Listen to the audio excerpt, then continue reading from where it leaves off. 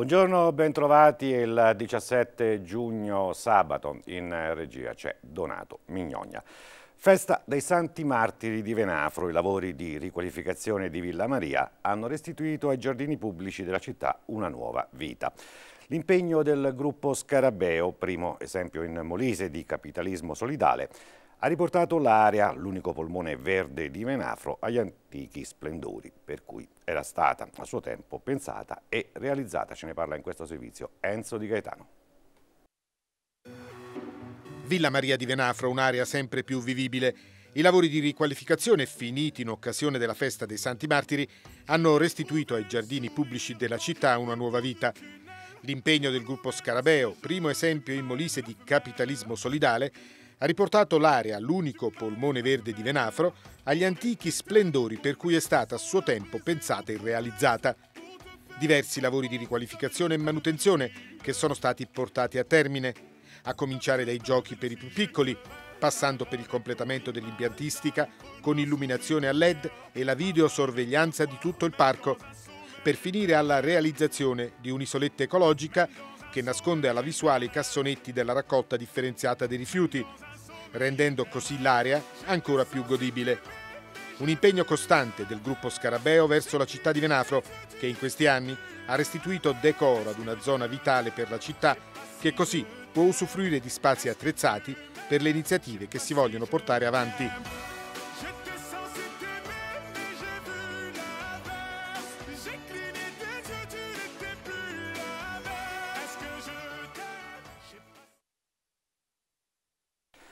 Immobilismo, approssimazione, inadeguatezza. Impietoso il giudizio espresso dal centro-sinistra nei confronti della giunta da Pollonio. I vertici cittadini della coalizione si sono riuniti durante un vertice organizzato in via Berta dal Movimento Comunità Attiva. Il servizio. Un anno fa, al termine di una dura battaglia tutta interna al centro-destra isernino, Giacomo da Pollonio conquistava la fascia tricolore a 12 mesi esatti dal voto che ha portato il generale sullo scranno più alto di Palazzo San Francesco, Comunità Attiva ha chiamato a raccolta il centro-sinistra per valutare l'operato del sindaco e della sua giunta. Promotore dell'iniziativa Giuseppe Iglieri, leader regionale del movimento, che ha chiesto all'amministrazione un cambio di passo per tentare di salvare una città agonizzante sotto il profilo economico e sociale. La definizione che possiamo dare a questo primo eh, anno di amministrazione è, è che eh, è affetta da annuncite, questa grande malattia che colpisce l'amministrazione in questo primo anno che ha portato appunto alla eh, proclamazione di numerosi annunci, eh, ricordiamo i 18 progetti, mega progetti da realizzare ma altre, eh, che poi però purtroppo non si sono realizzate. Due fra tutte le voglio sottolineare. Il primo riguarda la piscina comunale, il cui primo annuncio di eh, apertura o di emissione del bando è datato ottobre 2016.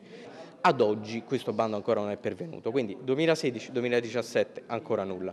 La seconda, eh, piccola, eh, il secondo piccolo chiarimento riguarda l'idea di aprire una sede di architettura ad Isernia, annunciata nell'aprile del 2017.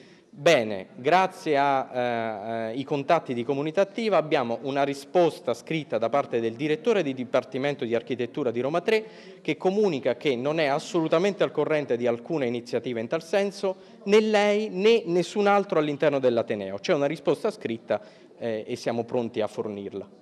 Dalla piscina comunale al parco stazione, dal centro storico all'edilizia scolastica, per Roberto Di Baggio è lungo l'elenco delle promesse elettorali tradite dal centrodestra.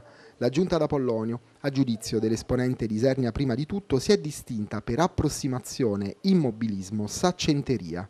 Da questo anno si è capito una cosa, si è capito che non è per loro amministrare una città, che non hanno assolutamente le capacità, i mezzi e soprattutto la preparazione tecnica per fare gli amministratori. Hanno villandato negli anni chissà che cosa, la gente purtroppo è cascata in questo tranello e in virtù di forti divisioni e di un voto diciamo, molto basso che la gente andrà a votare pochissimi sono riusciti ad ottenere questa maggioranza che oggi provano a governare ma in realtà non hanno i mezzi. Il problema serio è che la città non è che è ferma, la città sta andando indietro, la città non programma, la città è eh, indietro rispetto soprattutto agli altri paesi e al capoluogo di regione che è Campobasso. Intanto Formichelli, Di Baggio, Di Luozzo ed Onorato hanno presentato ricorso al TAR rispetto all'approvazione del bilancio. I quattro esponenti di centrosinistra ritengono che la documentazione sia stata inviata ai consiglieri ben oltre il limite previsto dalla legge. Il ricorso, ha spiegato Rita Formichelli, è uno strumento per ribadire che la minoranza non può essere sistematicamente vilipesa. Avevamo chiesto di rinviare il Consiglio Comunale perché non c'erano i tempi perché noi potessimo leggere e fare le giuste osservazioni. Premetto che avevamo fatto delle osservazioni al programma triennale, non c'era stato risposto e quindi a fronte di tutto questo invece di eh, accogliere la nostra istanza che non avrebbe comportato nessun problema né formale né sostanziale, il Consiglio si è tenuto lo stesso e quindi eh, noi abbiamo ritenuto di dare anche un segnale forte all'amministrazione, ma questo nell'interesse di tutti i cittadini che a questo punto non sono veramente rappresentati. È tutto con la nostra informazione, adesso la rassegna stampa. Iniziamo con il giornale del Molise.it. In primo piano la sanità, in particolare il piano sanitario regionale che è diventato legge. Ruta, il senatore Ruta dice è stata smantellata la sanità pubblica, uno sfregio a tutti i molisani. Le altre notizie avete sentito anche nel nostro notiziario, Villa Maria di Venafro, un'area sempre più oh, vivibile. Adesso ci spostiamo a Termoli, procurato allarme Costa Molisana. Denuncia alla Procura di Larino, sono stati denunciati alcuni esponenti del Movimento 5 Stelle da parte di Confcommercio, il sindacato balneari. Ancora la sanità, tagli, lettera a Paolo Frattura, le auguro di vivere la mia disavventura. Vediamo qualche altra notizia, fa tappa a Termoli, consultorio in piazza, visite ed esami gratuiti oggi. A Campobasso inaugurazione la città dei misteri tra borghi e tradizioni.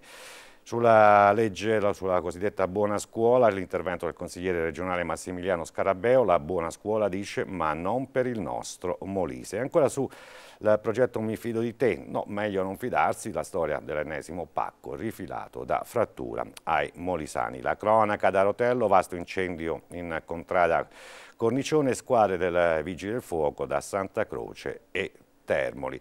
Nella sezione editoriali Idee e Opinioni, nella rubrica Scritti Vaganti, eh, si parla dello Ius Soli, un segno di civiltà. L'articolo è a firma di Michele Mignogna.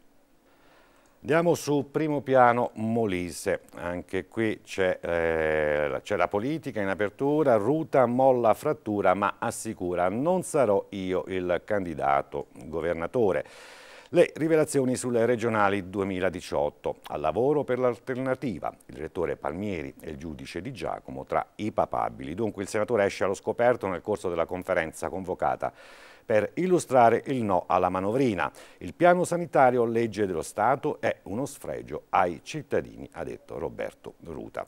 A centro pagina da Isernia il centro-sinistra, avete sentito, si ricompatta e affonda da Pollonio. Tanti annunci, pochi i fatti. Andiamo a vedere le notizie sotto la testata. Depuratore di Termoli, Confocommercio denuncia il Movimento 5 Stelle per procurato allarme per quanto riguarda appunto lo sversamento in mare del depuratore. A Campobasso il Corpus Domini entra nel vivo, sicurezza, la città risponde bene alle misure straordinarie. Le notizie di spalla, Boiano, la cronaca, la banda del buco in azione al bar della Esso, portati via liquori, gratta e vinci e tabacchi per 25.000 euro. Ancora Termoli, auto contro scooter, la Centaura si rialza e aggredisce l'uomo che era alla guida. Entrambi finiscono in ospedale. Ancora Termoli, colto in flagranza mentre ruba rotoballe di fieno, 36enne finisce in, in manette. Ci spostiamo al stabilimento Fiat, fuga di massa dal sindacato USB. 14 esponenti su 20 lasciano e avviano un nuovo progetto. Il calcio, quello di Serie D, siamo a Campobasso, lupi, non ci sono imprenditori, naufraga il progetto holding. Ci spostiamo ad Agnone dove è festa, ci si prepara a vivere una giornata storica per i 50 anni. Un approfondimento anche un richiamo sul campionati di basket universitari, il CUS Molise passa il turno e lancia la sfida al Bologna. Passiamo adesso al quotidiano, la notizia di apertura è titolo Tratturi, tre regioni verso un unico percorso. Siglato l'accordo tra i presidenti del Consiglio regionale del Molise, Abruzzo e Puglia per promuovere le cosiddette autostrade verdi. In alto ruta arresto nel Partito Democratico e punto a riunire il centro-sinistra. L'approvazione del programma operativo straordinario, aggiunto il senatore, è uno sfregio alla democrazia. Di spalla programmazione europea, giudizio positivo del Comitato di Sorveglianza ieri in riunione a Sepino.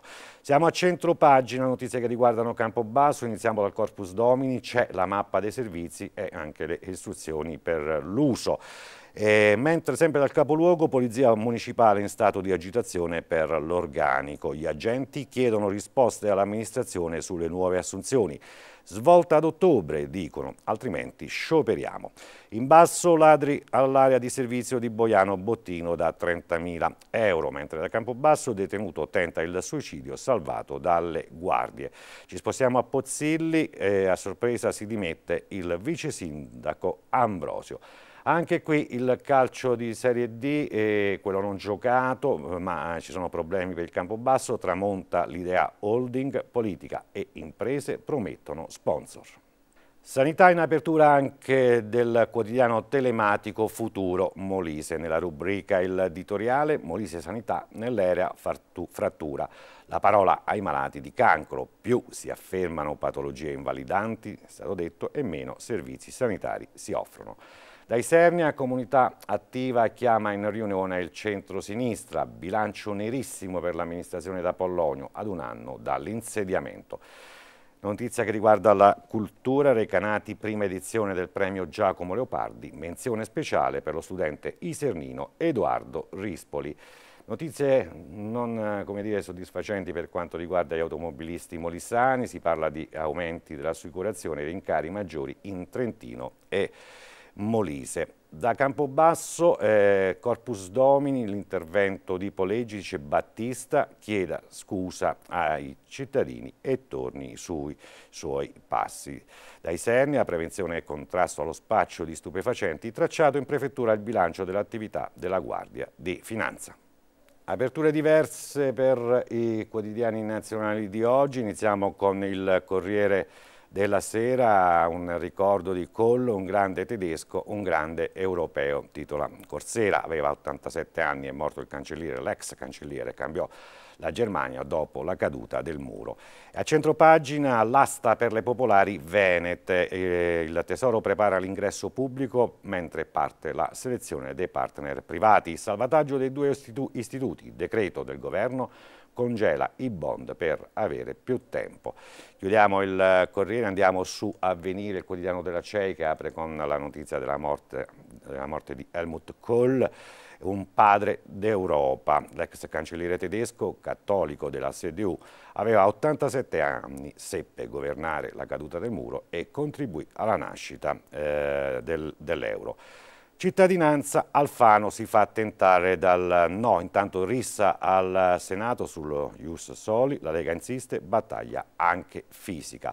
Dall'avvenire al tempo, la notizia di apertura riguarda la capitale, 6.000 vigili urbani a guardia delle buche. Follia a Roma, agenti mandati a presidiare le voragini nelle strade. Oltre 3.000 interventi negli ultimi 5 mesi e si rompono pure gli autobus. Qui una notizia diffusa nelle ultime ore, l'annuncio della Russia, ucciso il capo dell'ISIS, forse aggiunge il tempo, anche perché notizie del genere si erano diffuse anche qualche tempo fa e poi sono state smentite. Il Sole e il Fatto Quotidiano, panico da Consip, Renzi caccia il testimone Marroni per salvare gli indagati Lotti e Company. L'amministratore de delegato non ritratta le accuse a Luca e Tiziano, il, PG, il PD lo sfiducia. A centro pagina i voucher, Camusso in piazza, la CGL in piazza, il governo dei poteri forti è stato detto, oggi in mobilitazione nella capitale. Dal Fatto Quotidiano alla stampa di Torino, che dedica spazio alle province definite fantasma, nessuno ripara strade e scuole. C'è l'intervento dell'UPI, che è l'Unione delle Province Italiane, senza eh, finanziamenti soppressi i servizi. Ecco il conto dell'abolizione a metà, scrive la stampa, tagliati i fondi, non le competenze. E adesso il Sole 24 Ore, che apre con notizie che riguardano eh, Veneto Banca ha sospeso il pagamento del bond. Decreto lampo del governo, stop ai rimborsi dei titoli junior per sei mesi dalla richiesta del sostegno pubblico. Tanto l'Unione Europea vara la riforma definita soft dei bilanci bancari. Su Repubblica in primo piano le conseguenze dello sciopero di ieri nei trasporti, il quotidiano titola così, sciopero le città in tilt, interviene il ministro del Rio, dice è inaccettabile, ora cambiare le regole. Una minoranza di lavoratori non può bloccare tutto, gubitosi, assurdo fermare all'Italia in questo momento. E poi si parla dello Jussoli, la politica divisa e il valore della cittadinanza. Chiudiamo Repubblica, andiamo a vedere Libero, hanno fermato tutto, anche il loro cervello. Anche qui si parla dello sciopero dei trasporti, sindacalisti definiti incoscienti. I Cobas bloccano aerei, treni e bus per rivendicare il diritto a incrociare le braccia, senza rendersi conto che c'è già ed è il più garantito. Il governo li critica, però non fa nulla per tutelare chi subisce le proteste. Da libero adesso al messaggero altro quotidiano della capitale, anche qui caos scioperi, la resa dei partiti. Il blocco delle piccole sigle eh, sindacali paralizza Roma, fermi metro, bus e ferrovie urbane. Va meglio in altre città. Del Rio, il ministro del Rio serve una stretta ma tocca al Parlamento. Il garante interviene, interviene anche il garante, la legge eh, cambi, è stato detto. Adesso vediamo il manifesto, la partita del lavoro, si fa riferimento ai voucher e alla mobilitazione della CGL. Questo governo, è una frase virgolettata, annulla il referendum e risponde solo alle imprese. Dunque Susanna Camusso chiama i lavoratori alla manifestazione di Piazza San Giovanni contro i voucher e lo strappo alla democrazia. In questa partita per il lavoro e i diritti anche i fuoriusciti del PD e le forze della sinistra. Intanto Pisapia alla leader CGL sono con voi. Dal manifesto adesso alla verità con questo titolo Dall'Africa importiamo siero positivi, l'emergenza ignorata. Il 50% di chi arriva da sotto il Sahara ha l'HIV, dunque l'AIDS, e, ogni, e ogni 10 nuovi malati in Europa 4 sono stranieri, i dati diffusi da esperti di tutto il mondo che avvertono molti contagi avvengono nei centri di accoglienza, questo è quanto scrive il eh, quotidiano La Verità. Andiamo sul secolo d'Italia, sarà referendum, si parla di Ius Soli, vedete dei migranti, in basso invece centrodestra ed elezioni c'è il dovere dell'unità. Un riferimento anche alla politica estera, Trump è davvero indagato, ora attacca proprio tutti. Uno sguardo al mondo dello sport sulla Gazzetta che dedica spazio a Donnarumma, la Juve ci prova alle grandi manovre attorno appunto a Donnarumma e al Milan. In alto Ronaldo shock, è infuriato con il Real, indagato, vado via. E a proposito di saluti, adieu Verratti, il Paris Saint-Germain parla con il Barcellona sul tavolo 100 milioni. Vediamo qualche altra notizia, qui è chiaro in questo periodo si parla di calciomercato, mossa Inter, obiettivo Bernardeschi, mentre sulla destra Gagliardini nel cuore dell'Under. Domani debutto all'Europeo, l'interista dice ho buone sensazioni. Bene, come sempre con lo sport e con la Gazzetta concludiamo l'appuntamento del mattino. Grazie per averci seguito. Buona giornata. Alle 14 il TG con tutte le ultime notizie. Arrivederci.